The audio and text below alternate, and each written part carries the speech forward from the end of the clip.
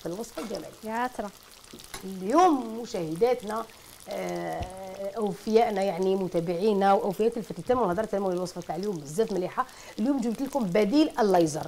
زيت طبيعي بديل الليزر. الليزر، نعم. واش يدير هذا بديل الليزر؟ جبت لكم اليوم زيت السعد باش تعرفوا. وزيت السعد هذه واش دير تعمل على إضعاف بصيلات الشعر. يعني باش نعم. اظن فهمتوا شوية وصفتنا اليوم هي كيفاش نتخلصوا من الشعر من زغب الشعر ولا نقدروا كذلك نعطلوا في في نمو الشعر. عباكم دوكا بزاف خديجة ولاو النساء يحبوا يديروا. لازير باش يتهناو من كما نقولوا آه، آه، الشعر تاع الجسم ولا الوجه ولا.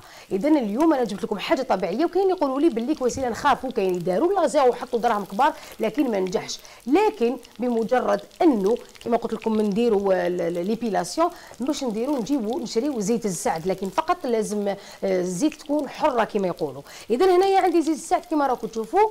كيفاش نحين نستعملوها؟ أكيد راح تتسائلوا اولا سيدتي لما تستعملي الليبيلاسيون واش ديري هنايا نديروا نحكموا يعني البشرة تاعنا. لازم نكونوا يعني نحينا الشعر بالحلاوة ماشي بالشفرة ولا بلا بوماد. لأنه علاش؟ هذيك الشفرة ولا ولا, ولا كريم راح تقطع لنا الشعر فوق البشرة تاعنا. فبالتالي عندهم نفس العمل.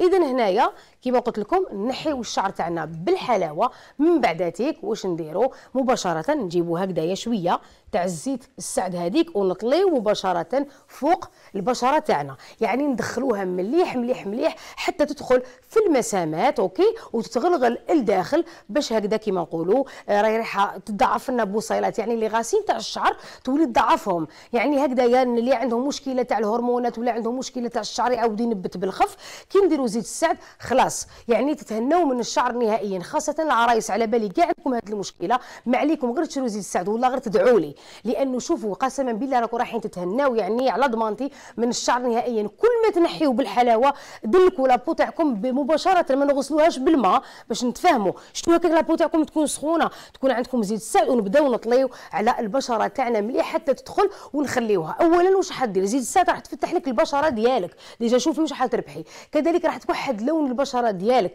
كذلك ترطب البشرة ديالك. وفي نفس الوقت تهنيك من هذاك الشعر يعني ما يزيدش يعاود يخلف. إلا كان تنحي من هنايا ينوض لك في سمانة ولا 15 يوم راح ينوض لك على شهر. وهي رايحه حتى وين خلاص يعني لا غاسين اللي ما عندهاش القوة باش تدفع الشعر يطلع للأعلى. إذا كما قلت لك سيدتي ما عليك غير بزيت السعد باش تتهناي من زغب ولا من الشعر تاع الجسم حتى في الوجه في أي منطقة. تقدري تستعمليها. آمنة جدا لأنه نبتة السعد هذه بالذات يعني فيها يعني نسبة كبيرة من مضادات الأكسدة.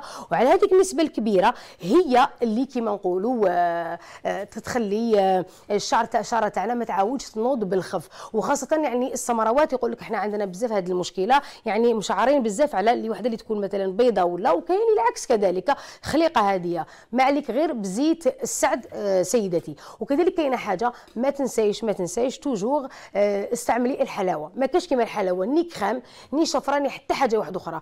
زيت السعد قلت لك هي بديل الليزر كيما كاي- كاين بديل البوتوكس أنا اليوم جبت لك آه، زيت تاع نبات السعد اللي هو كما قلت لك بديل الليزر الطبيعي.